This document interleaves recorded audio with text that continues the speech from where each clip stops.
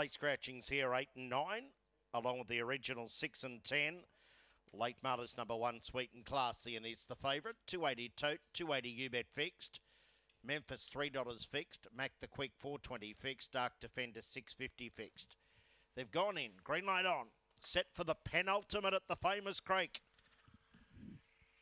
And away now. Fast away was Dark Defender. Sweet and classy kicks up and around them goes Mac the Quick.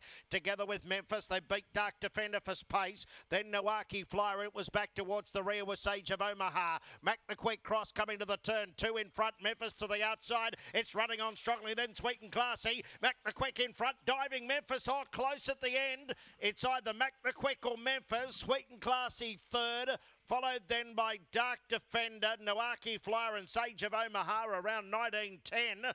Memphis has dived at Mac the Quick.